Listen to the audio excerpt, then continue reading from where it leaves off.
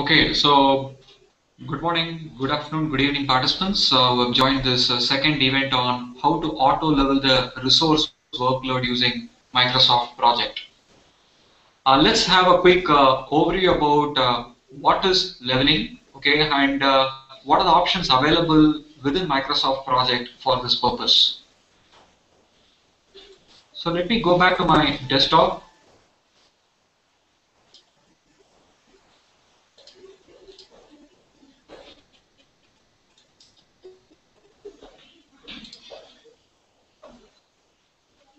First, let's talk about what is workload leveling and why do we need to do it using Microsoft Project. We look at the different scenarios why resources get over allocated.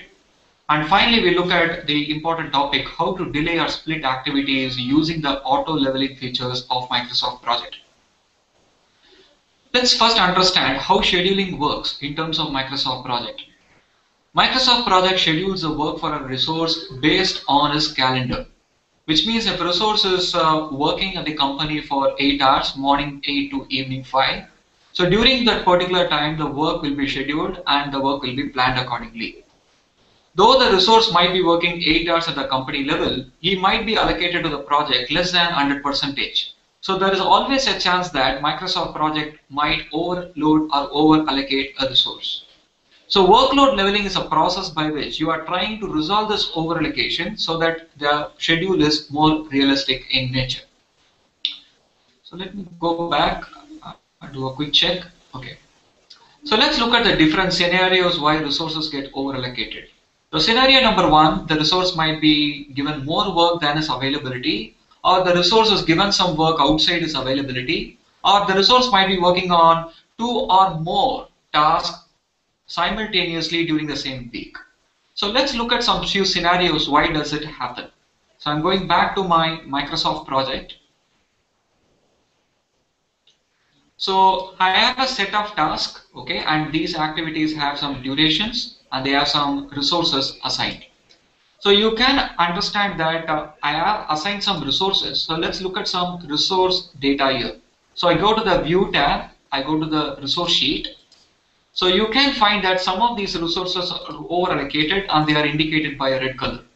So let's first understand what is the information we have recorded about these seven resources. Each resource has been assigned to the standard calendar, which means they are working from morning 8 to evening 5 at the company level. And all of them are allocated to the project for 100 percentage. Now let's take an example about Vijay here. Okay, I'm going to open Vijay he says that this resource is working on your project from 29th July till 31st of July at 100 percentage.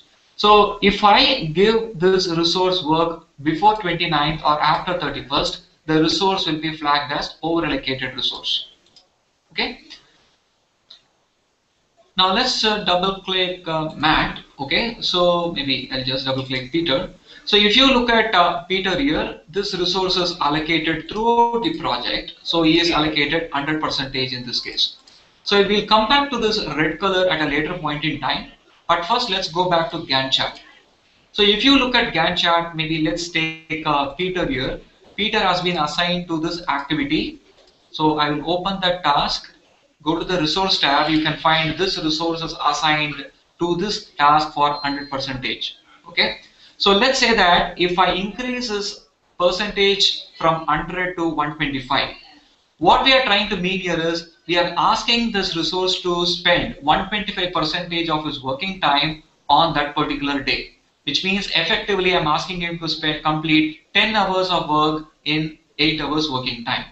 So if I do that, you can find the resource gets over allocated. You can find there is a red color statement that appears for row number one. Let's take another example. If you look at row number 3 and row number 5, okay, you can find the same resource Abhi has been assigned to it. Okay, so this is the second scenario we were trying to talk about. The third scenario is a resource might be given some work outside its availability.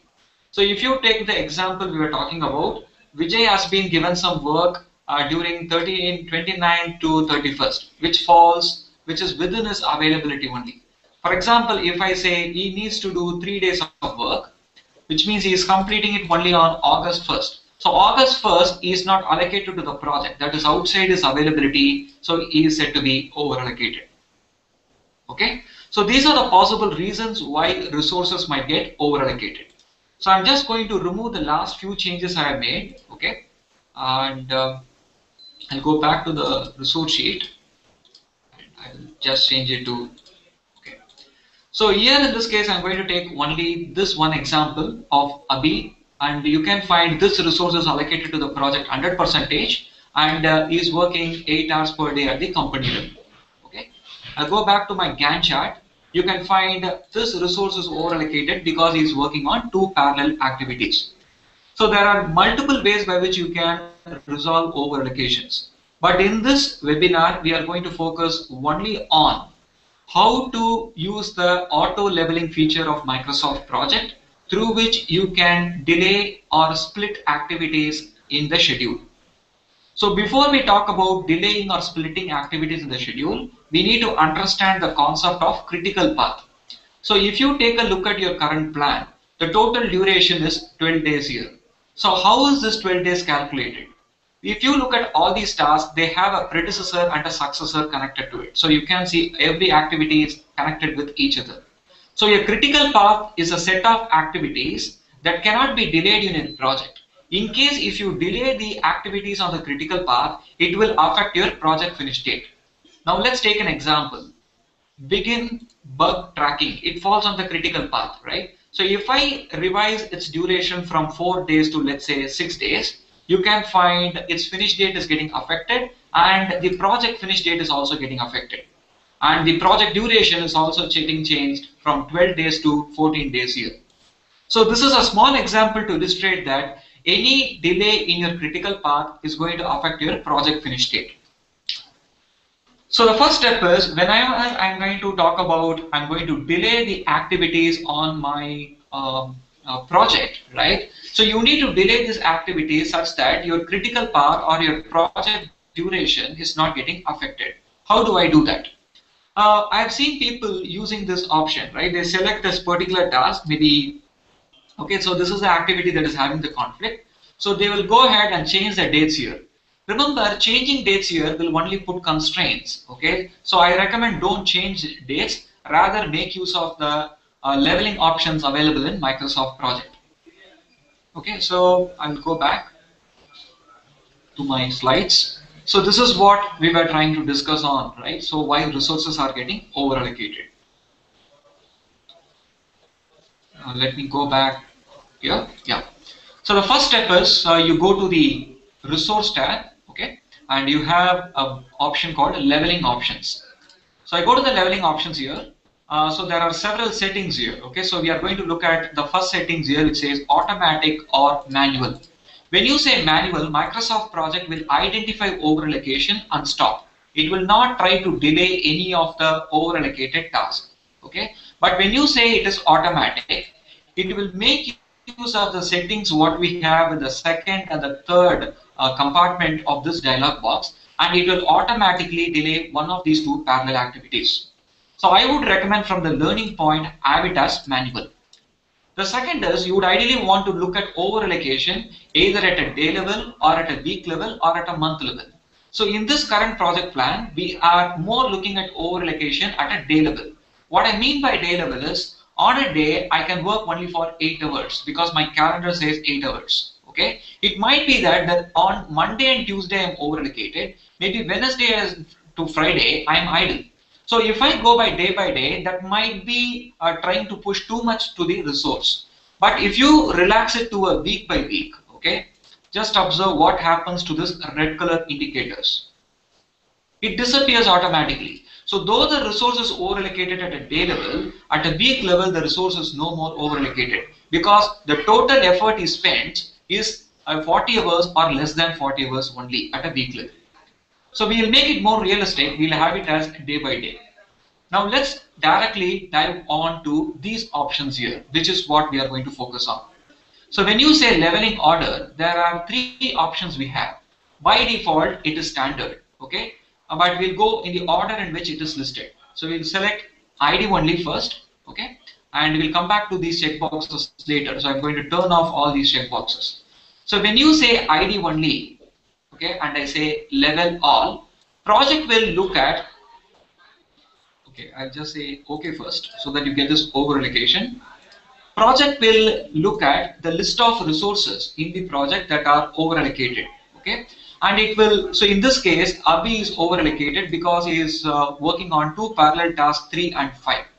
So in this case, you would like to tell, if I say ID only, the task that is having the lowest row ID. In this case, 3 is having the lowest row ID. So that task will not be delayed, whereas a task that is having a higher row ID will always be delayed. So if you take this example, row number 5 falls on the critical path, whereas row number 3 falls on the non-critical path. So when I use ID only, uh, you are going to delay your critical path activity. So let me say level all. So you will find row number 5 is getting delayed because it is having a higher ID than row number 3. But effectively, you have resolved this overallocation by delaying one of these two parallel tasks. So this is the first option which you might want to understand. The second option is if I go for standard, project will look at between these two parallel activity, which falls on the critical, which falls on the non-critical path. Or in other words, it will use this term called float or slack. So I will insert this column called total slack. So you can find row number 3 is having 4 days of slack, whereas row number 5 is having 0 days of slack. A 0 days of slack means that task cannot be delayed in your project, whereas a 4 day means that task can be delayed by another 4 days without affecting your project finish date. So I will go there and I will say standard and I will say okay to it. Okay, so I'll say level all. Now you can find which task is getting delayed. The task that falls on the non-critical path is getting delayed in this case. So naturally, row number three is getting delayed. So if I use standard, uh, you have a higher chance that you know you are not going to change your project finish date or your project duration. Okay, fine. So any questions on this, uh, Indranan?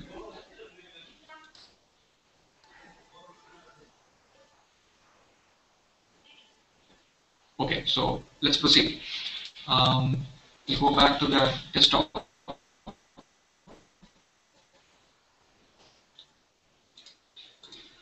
So this is the second option. Okay, so the third option which I'm going to talk about is uh, we are going to make use of these options here, right? Level only within available Slack. Leveling can adjust the individual assignments of the task. To understand these two options, I'm going to make a small changes in this plan. First, let me split this view. So I go to the view and I turn on details. So on my bottom, I can say the task form. So I'm going to change the task form here to task usage. So let me look at that task. Okay, so okay, so I'm just going to make some small changes. Okay, so let's say leveling delay is zero.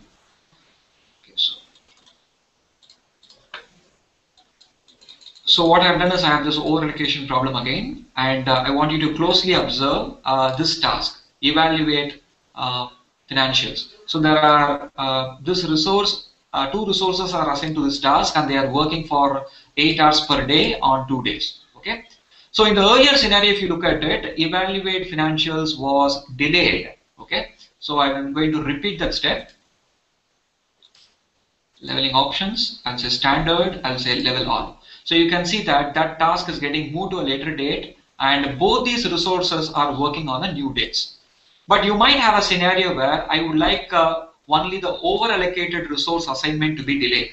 The other resource can still work as per the old dates. So you just go to the leveling options, you have it as standard. I'll go for the first option saying leveling can adjust the individual assignments on a particular task, which means the task that is going to be delayed if there are multiple resources who are assigned to the task, only the assignment of the over allocated resource will be delayed. So I have set a, set a standard leveling can adjust individual assignments. I will say level all. Now you can find it's only his Abhi's assignment has moved. Now he starts this work only on Wednesday, whereas Vijay starts his work on Monday itself. Now you can find uh, together the first resource starts on Monday, the last resource completes on Thursday. So effectively the duration of this activity is 4 days here. Okay. Good. So these are the options. Okay. So if you look at it, we have looked at options to delay an activity as well as to split an activity based on the options we have seen. Okay. So there are other options which you might want to look at, which I'm not going to focus on much. So there are options by which you can say that the task that is going to be delayed should be delayed only within its available float. Okay, that is the available slack. Uh, if there are activities that needs to be split into multiple pieces, you can go for the third option saying leveling can create splits in remaining work. So using all these options, right, you can only delay an activity or split an activity. You cannot uh, swap resources or you cannot change the working time accordingly. Okay. So let me go back to my presentation here. So I hope that uh, this 15 minutes uh, video on how to use the auto leveling feature was useful for you. So this video is recorded and it will be published in this channel which is uh, accessible to all of you. So you might want to go back and play this recording and if you have any questions write an email to this email address.